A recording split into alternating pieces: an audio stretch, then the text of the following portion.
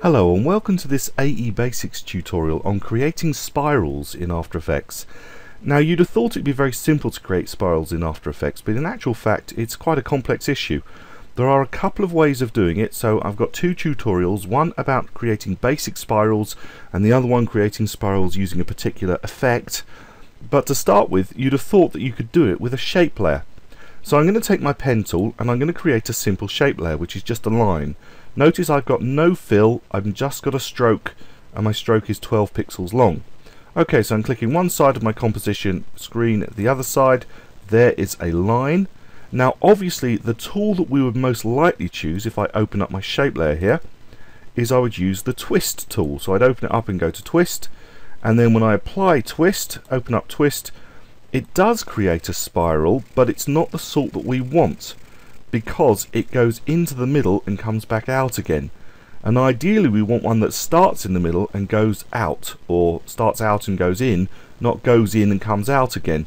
Because if we were to apply something like the Trim Paths tool, and open up Trim Paths, then what we would discover is that the item trims into the middle and then back out again, which isn't what we want.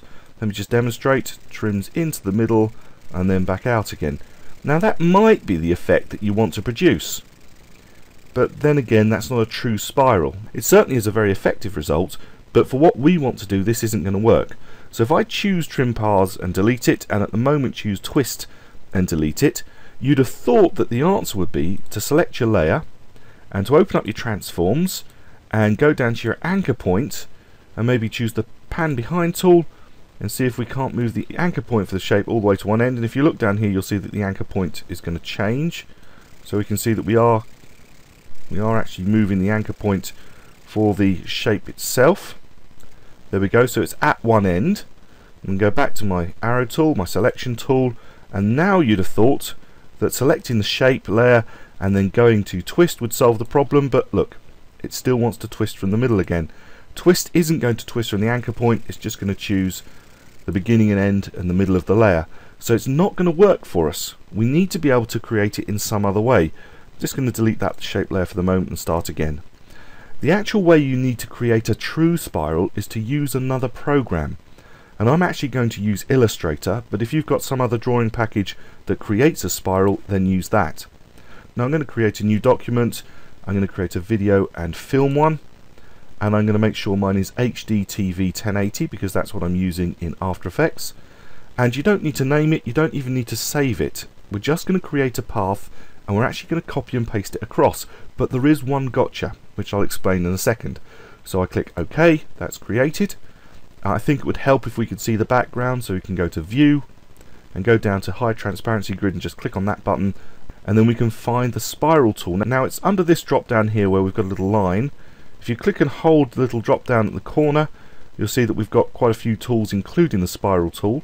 And if you want this to become a flyaway menu just click on this little tear off button here and there it goes. It becomes a standalone toolbar item and we want the spiral tool. Now when you pull and drag you are going to create a spiral and it's just worth saying although I'm not going to do it that the shift key the control or the command key and the alt key will all change how the spiral draws so I'm not actually going to demonstrate those but do when you draw a spiral play around with the shift key the alt key the option key if you like and the um, command or control key depending on whether you're on Mac or on PC and you'll find that you get different types of spiral. But at the moment I'm just going to click and drag a standard spiral. That'll do for me. And that's all I'm going to do. Go back to my arrow tool make sure it's selected go edit copy or control or command C and then I could shut down Illustrator if I wanted at this point. I'm not going to bother but I'm going to go back to After Effects now what I want to do is paste in that path into After Effects but you can't do it if you create a standard shape from this drop down here. So if I was to create a shape using any of these tools, it wouldn't work.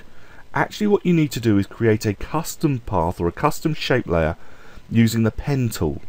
And the simplest way to do it is take your pen tool, go at the beginning and at the end, that's a simple path. Mem bear in mind, of course, we don't have a fill here.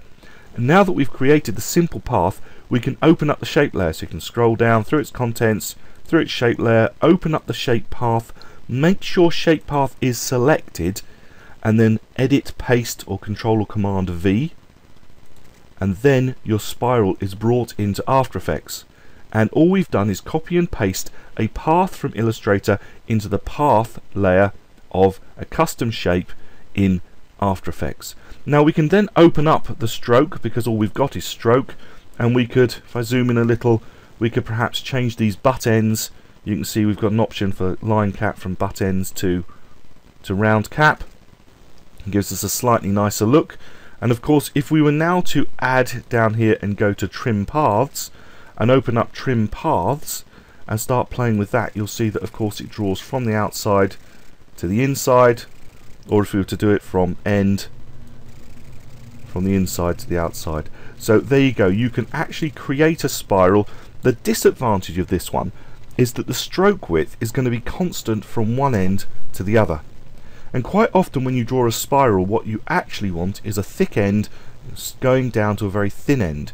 Now you can't do that with the standard shape layer tools that I'm aware of in After Effects. However, you can do it with an effect and it's the effect that I haven't demonstrated before. It's a very powerful effect for writing on. It's actually called the write on effect. And in the next tutorial, I'll demonstrate how to create a spiral that will draw on, starting very thick and giving a very thin end, and will be fully animatable in After Effects. So I'll see you in the next tutorial. My name's Andrew Devis. Thank you for watching.